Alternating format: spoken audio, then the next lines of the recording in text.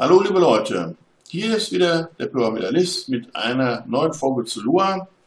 Und zwar geht es diesmal um sozusagen die Erweiterung unserer Übersicht.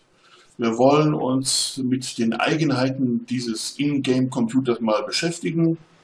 Und dazu haben wir ja hier verschiedenes aufgebaut. Das eine hier, das große, dieser Riesenbildschirm, der heißt Monitor. Und der Computer versteht nur dann, bitte schreib etwas auf den Monitor, wenn man ihm Monitor sagt, wenn man Bildschirm schreibt, hat er keine Ahnung, wovon man spricht. Computer sind dumm und sie haben immer recht. So, ähm, links hier den Computer, da beschäftigen wir uns gleich mal mit.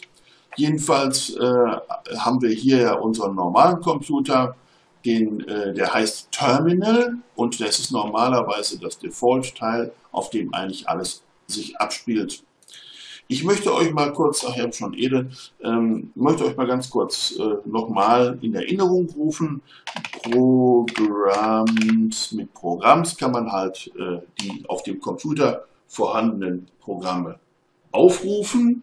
Und ich hatte vorhin schon testweise mal eins eingegeben. Das nennt sich Test PC2. Ich mache mal edit, edit, Test PC2. Das wäre also da reinkommen.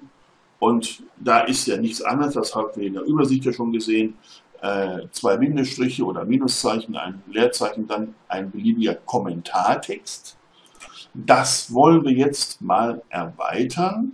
Das heißt, an der Stelle, äh, gut, erweitern wir mal einfach, das hatten wir in der, in der, äh, in der Übersicht auch schon gesehen, einfach den Befehl print, also der soll etwas drucken. Wohin druckt er es? Auf den Default Ausgabeplatz, das ist Terminal, also dieser PC hier, der kleine Bildschirm selbst.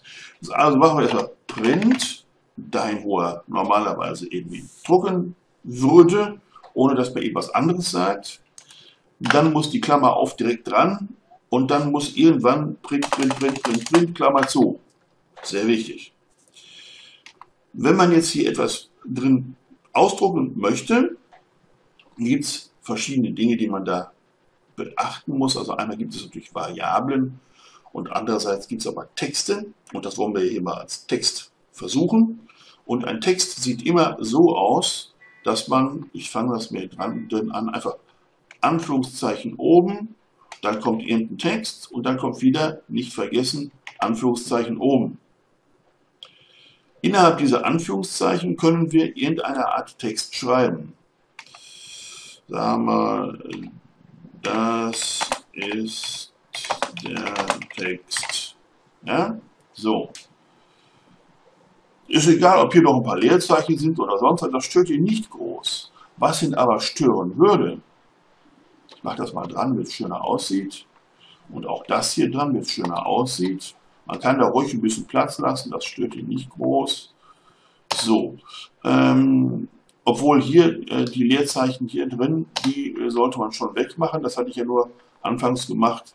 Also wenn hier noch Leerzeichen sind, ist das bei Computern immer so eine Sache. Was auf keinen Fall sein soll, ah, hier sollte noch ein S hin, okay. Ähm, was auf keinen Fall sein sollte, dass innerhalb dieses Textes wiederum Anführungszeichen verwendet werden. Wenn also hier zum Beispiel Anführungszeichen wäre und hier Anführungszeichen wäre, zum Beispiel, dann versteht der, dieses hier ist ein Text, dieses hier ist wieder ein Text und das dazwischen, das versteht er nicht. Das können wir von nicht machen, aber es gibt natürlich Möglichkeiten, innerhalb des Textes noch Varianten zu haben. Kommen wir in einer weiteren Folge drauf. So, er schreibt also jetzt wahrscheinlich ganz brav, das ist ein Text. Das ist ein Text. So, dann machen wir wie immer STRG-Taste drücken oder diese Control-Taste, Save, die gleiche Taste nochmal und dann Exit und dann machen wir Test und schon hat er irgendwas falsch verstanden. Ah, Computer sind doof und sie haben immer recht. Schauen wir mal, wie unser Testprogramm heißt. Er heißt nämlich nicht Test, sondern Test PC 2 und dann tut er es. Dies ist ein Text. Ihr seht, das funktioniert. Jetzt müssen wir uns über etwas weiteres unterhalten, was sehr wichtig ist für euch. Denn ihr wollt ja nicht folgenden Effekt haben. Ich mache das mal einfach. Ist ja völlig egal. Ich reiße den Computer mal einfach ab. Kopf. So, und dann stelle ich ihn wieder hin. Dann schauen wir mal rein. Und ihr seht, unser Test PC2 ist nicht mehr da. Das ist quasi ersatzlos gelöscht. Ihr kriegt es auch nicht wieder. Außer folgender Trick. Schauen wir mal. Wir schreiben erstmal nochmal das Programm neu. Ähm, edit Test PC2 und dann schreiben wir mal äh, Test PC2 Pro Programm. So, dann schreiben wir Print, wie gehabt, Klammer auf, Anführungszeichen. Dies ist unser Text, Anführungszeichen oben und Klammer zu nicht vergessen. Abspeichern und äh, wieder mit Exit raus. So, jetzt Programms, schauen wir uns, unser Test müsste irgendwo sein. Wo haben wir es? Haben wir es nicht gespeichert? Doch da, Test PC2. Okay. Ja, hier gibt es jetzt verschiedene Programme, nicht nur unser Test PC2, sondern es gibt hier auch ein Programm, das heißt Label. Dieses Programm Label sorgt dafür, dass der Computer einen Namen erhält und wenn man den dann abreißt und wieder hinstellt, dann ist das Programm TestBC2 immer noch gespeichert. Das machen wir jetzt mal. Label Set, also das Wort Label von dem Programm. Da will er einen Parameter haben, bitte schön mit einem Abstand. Der Parameter heißt Z. Und dann gibt es einen zweiten Parameter, nämlich den Namen, den der haben soll. Unser Test PC2. Ja, so soll das Ding dann heißen. Also Label ist das Programm und es erwartet zwei Parameter. Einmal sozusagen, was er tun soll, nämlich Set. Und zweitens hier den Namen unseres PCs, in diesem Fall unser Test PC2. Machen wir mit Enter und schon heißt unser Computer in Zukunft unser Test PC2. So, jetzt reißen wir den nochmal ab und stellen ihn wieder hin. So, wieder reinschauen. Programms. Und siehe da, unser Programm Test PC2 ist noch vorhanden geblieben. Das war eine wichtige Geschichte, die ich also äh, sagen wollte, dass ihr also auf jeden Fall hier dieses Ding, ähm, ja, ja, dass die Programme erhalten werden und äh, dass ihr dann damit eben arbeiten könnt. Wir hatten in der ähm, Übersicht auch besprochen, dass man diese äh, Programme an einer anderen Stelle viel, viel besser und übersichtlicher programmieren kann. Das zeige ich euch jetzt auch noch mal eben um euch noch den einen oder anderen Trick davon zu zeigen. Moment, ich schalte mal aus dem Minecraft Ticket Lite, FTP, wie auch immer die Modpacks heißen, hier raus und gehe mal auf unseren Editor. Ähm, ja, der Editor sagt, wir haben hier eine ganze Menge von Computern. Ähm, diesen Pfad, wie man hier hinkommt, das habe ich ja in der Übersicht kurz erwähnt. Vielleicht schaut ihr da nochmal nach weil die Tutorials hängen ein bisschen zusammen, sodass ihr schon das eine oder andere mal sozusagen gucken müsst in einer anderen Folge und hin und her springen. Ansonsten könnt ihr auf dem Wiki natürlich gucken, wo was beschrieben ist und äh, dann könnt ihr natürlich relativ schnell zugreifen auf bestimmte Fragestellungen oder so. Okay, also das sind verschiedene Computer. Unter anderem jetzt hier unser Computer 8, den wir ja gerade hatten. Auf dem Computer ist unser Test PC2 Programm. Das öffnen wir jetzt mal. So, das sieht jetzt ein bisschen hässlich aus, weil auf dem Ingame-Computer kann der die Enter-Taste nicht ordentlich darstellen, wenn man das anschließend in so einem Editor-Programm äh, wie hier von äh, Microsoft, dieses Editor, äh, dann eben darstellt. Aber das können wir ganz einfach ändern und das macht auch Sinn. Test 2 PC Programm. Die nächste Programmzeile sollte Print heißen. Dies ist unser Text. Jetzt sieht es schön aus. Jetzt kann man das wieder abspeichern unter Speichern oder man kann auch, um es zu speichern, ich mache das immer Es ist einfacher, die Control- oder STRG-Taste gedrückt halten und dann die S-Taste, S wie Siegfried, äh, drücken. Dann hat man sofort äh, das gespeichert. So, das ist unser Text mit Zusatz. Will ich nur da hinschreiben. Ich mache wieder Ctrl S, also speichern. Und dann schauen wir unseren Computer nochmal an und lassen das Programm nochmal laufen. Ähm, Test PC2. So, dies ist unser Text mit Zusatz, das hatten wir ja gerade ergänzt. Genau jetzt werden wir etwas Besonderes tun. Jetzt werden wir nämlich hingehen und äh, Datei öffnen. Jetzt sind wir ja wieder in unserem Computer 8 drin. Wir gehen aber jetzt auf den Computer und schauen mal, da waren noch mehrere Computer. Wir müssen hier unbedingt auf alle Dateien schalten, nicht vergessen. Ähm, nein, das ist nicht der, den ich suche. Ich suche den hier, da wo auch ein Startup dabei ist. Und hier ist auch ein Testprogramm. Dieses Testprogramm,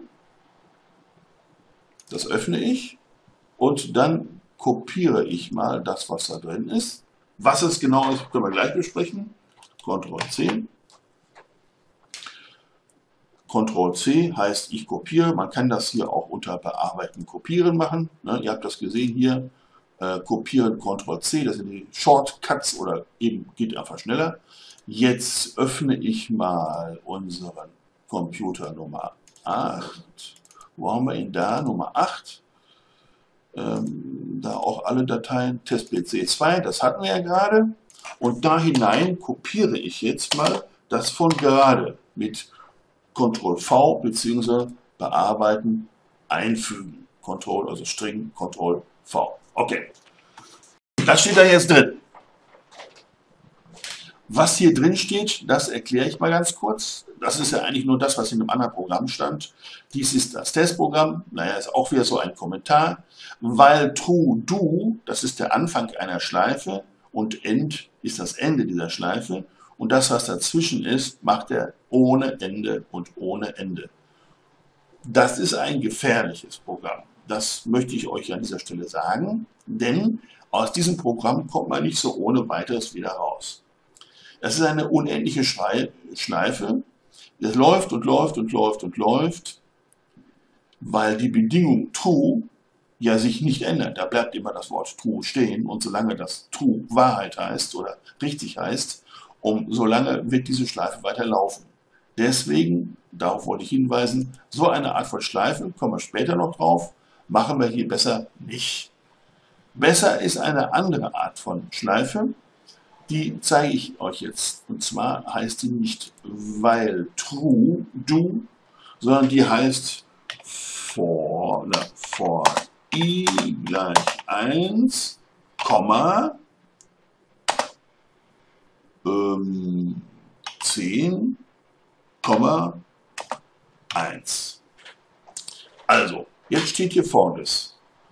For i gleich 1. Also mache erstmal i gleich 1 und solange i gleich irgendwas ist, Hauptsache es ist kleiner als 10, dann macht die Schleife, geht die Schleife durch und am Ende des Schleifendurchgangs erhöhst du das i um 1. Das heißt, am zweiten Durchgang ist i gleich 2 und 3 und 4 und 5 und irgendwann ist es 10 und dann sagt er, ah, es ist 10 erreicht, hören wir mal auf damit. Und genau das speichern wir jetzt mal ab. Ctrl S und lassen unser Programm laufen. So, da ist wieder Minecraft und jetzt machen wir wieder unser sozusagen Test PC2 und lassen es laufen. Schubs, und ihr seht, hier oben ist noch der Rest von dem, was wir vorher sehen, die ganzen Programme. Hier hatten wir dann unser Test PC2 gestartet.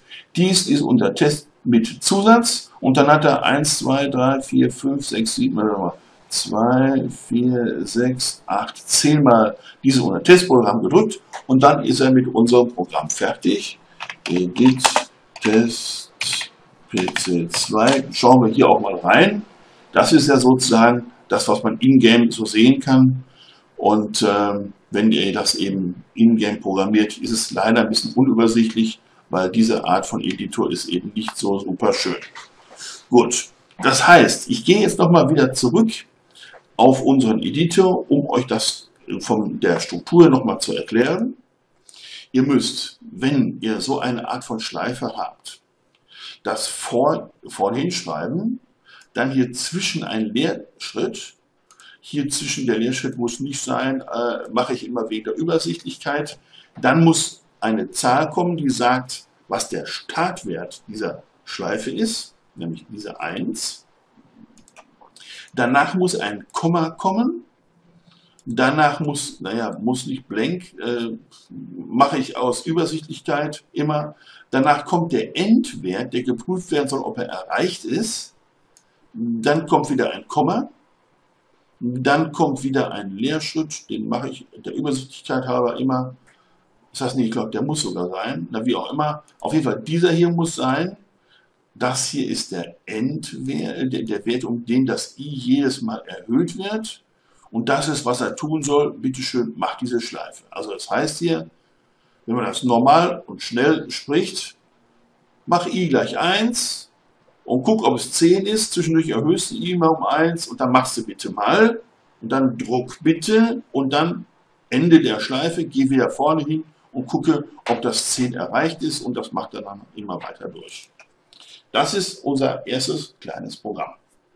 So, jetzt nochmal zu unserem zweiten PC, der da steht. Moment, wo haben wir hier Gemeinschaft? So, unser zweiter PC, der da steht, der ist der PC ähm, Programms. Ich zeige es euch mal eben. Das ist unser PC, der dieses Programm Test enthalten hat, aus dem wir vorhin was rauskopiert haben und der dieses Startup-Programm enthält. Ich zeige euch das jetzt auch mal, damit ihr wisst, wie so etwas funktioniert. Dieses Startup-Programm ist ein Programm, das wird automatisch gestartet, wenn jemand den Computer dahinstellt oder wenn jemand den Computer restartet. Also, ich sage euch mal eben, was drin steht. Edit Startup. So, jetzt haben wir nämlich hier auch so eine Schleife, wie ihr seht. Schleifenanfang, VI gleich 1 zu 10, das war ja, ne, bringt das unser Test-Terminal und so weiter. Das heißt, dieses Programm, so, gehen wir raus, Exit, ähm, Programms, dieses Programm heißt Startup. Wenn ich den Computer jetzt hier abreiße, abreiße und wieder hinstelle und reingucke, dann seht ihr, er hat automatisch dieses Programm gestartet. Und ich kann den Computer auch restarten, indem ich die Taste Control oder String drücke und dann für ein paar Sekunden dieses R drücke. Dann irgendwann fängt er an und sagt, aha, und dann äh, habt ihr diesen Zucker gesehen. So, nochmal, ne? dieser Zucker hat bedeutet, ähm, er hat das, den Computer neu gestartet und sobald er neu startet, kommt Startup raus und Startup heißt dann eben, bitteschön, laut dieses Programm laufen. Ja, das war daher und weil wir das sowas Schönes natürlich auch hier haben wollen, ich mache mal ähm, so, dann ist es hoffentlich etwas ruhiger. In-game, hallo. Warum macht er immer noch weiter mit seinem Regen? Ah, okay. Gut. Äh, wir haben gesehen, dass also dieser Computer ein Programm enthält, was dieser Computer noch nicht kann. Ich gehe auch mal raus und zeige euch das. Also Programms. So, ja, ihr seht, also da ist dieses Startup, Shutdown, Startup hier zwischen könnte es sein, ist nicht da. Also machen wir jetzt folgendes. Wir äh, gehen hier auf unseren PC unser PC, holen uns aus dem anderen Computer, das war ja, ich glaube, die Nummer 6 oder 7 oder was, schauen wir mal. Äh, alle Dateien, ah, da ist die Startup-Datei, die öffnen wir mal, gucken, ob das die richtige ist. Jawohl, das machen wir. Dies ist unser Testterminal ähm, auf beiden PCs. Nur damit wir den Unterschied sehen. Das kopieren wir jetzt mal einfach. C. Gehen wieder in unseren, äh, eröffnen einen neuen, einen neuen äh, Pfad, nicht speichern, ja gut, kopieren das dahin, über Bearbeiten äh, einfügen oder eben String vor, wie ich das immer mache. Und dann machen wir jetzt mal Datei speichern unter, Datei speichern unter, Computer Nummer 8, also hier seht ihr auch noch bei den Pfad, ne? das ist irgendwie unter Saves und dann Computercraft Mods und so weiter, also unter Computer 8 wollen wir das speichern, aber nicht als Textdatei. Wir werden sehen, wie er das dann gerne haben möchte. Ähm, jedenfalls äh, machen wir das mal ohne. Ähm, alle Dateien, so, und dann schreiben wir das mal Start ab und speichern. So. Jetzt Datei öffnen. Schauen wir mal unter Computer Nummer 8. Hat er jetzt eine Datei, die Startup Text heißt? Das sollte natürlich nicht so sein. Da müssen wir dieses nochmal um. Hatte ich da irgendwas vergessen wegzumachen? Startup soll es heißen. Fertig. Und Enter. Ja, ich möchte es trotzdem ändern. So, alle Dateien. Jetzt haben wir einmal Startup und einmal PC. Jetzt schauen wir mal, ob unser Computer das verstanden hat. So, reingehen. Programms. So, und ihr seht, hier unten hat er jetzt das Startup-Programm drin. Ich mache mal Edit, Startup, na, Startup, damit ihr seht, was drin steht. So, und hier ist dies unser Test auf beiden, auf beiden PCs. Das hat er also verstanden. Auf die Art könnt ihr sozusagen sehr einfach auch Programme von dem einen Computer auf den anderen hin und her kopieren und nicht nur, dass er sozusagen den Inhalt des Programms mit Copy und Paste, so wie wir es gerade gemacht haben, könnt ihr das machen. Ihr könnt das natürlich auch machen, indem ihr dieses Programm komplett kopiert. Also mit Windows Explorer oder einem ähnlichen Programm, mit dem ihr halt auf äh, Betriebssystemen arbeiten könnt. Ähm, ich denke mal, das äh, Betriebssystem interne, das äh, wollte ich euch jetzt nicht erklären, aber ja, gehen wir noch Safe. Und dann haben wir Computercraft und dann haben wir Computer. Und dann kann man natürlich jetzt hier bei Nummer 6 so diese Programme, die hier drin stehen, komplett nehmen. Dann auch über Ctrl-C oder eben bearbeiten und kopieren. Naja, ihr kennt das ja. Und dann geht man, sagen wir, auf den PC 8 kopiert die dahin. Ja, befinden sich und so weiter über diese äh, überspringen. So, jetzt haben wir also hier Startup nicht kopiert, dafür das Test. Das nennen wir jetzt mal Test äh, 3 und das nennen wir Test PC2 Nummer 3. Nur damit wir sehen, dass es Unterschiede auf dem äh, auf dem Ingame-Computer gibt. Jetzt schauen wir uns noch mal an, Programms, welche Pro na, Programms, habe ich jetzt richtig? Nein, auch nicht. Pro Programms. So, jetzt haben wir hier eine ganze Menge. Ihr seht, Test 3 ist hier, Test PC Nummer 3 und unser Startup ist jetzt natürlich auch noch irgendwo hier hinten. Ja. Also äh, Ihr könnt also eine ganze Menge machen, indem ihr einfach normale Editoren benutzt. So.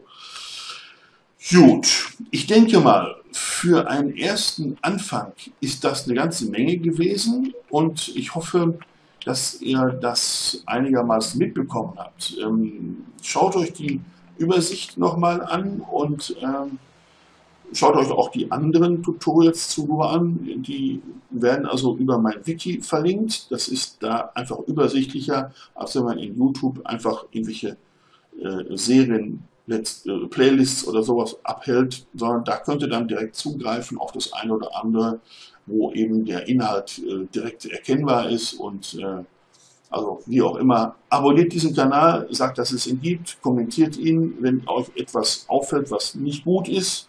Äh, gerne mache ich auch Änderungen und Verbesserungswünsche, nehme ich immer gerne entgegen und äh, wir werden uns dann hoffentlich in einem der nächsten Tutorials sehen oder in einem der schon existierenden auf meinem Kanal. Schaut euch um, habt Spaß mit Minecraft, viel Spaß und tschüss.